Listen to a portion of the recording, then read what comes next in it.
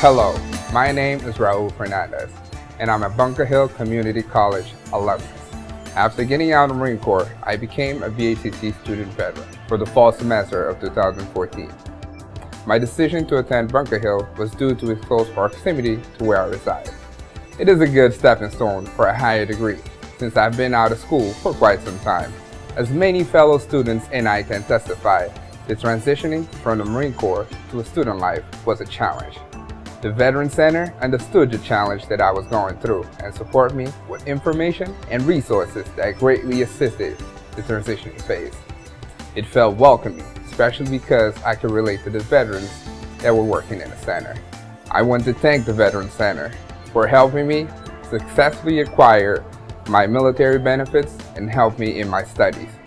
I now have earned my associate in art degree and I have transferred to University of Massachusetts Boston. I feel I have a strong obligation to help student veterans succeed in their transition.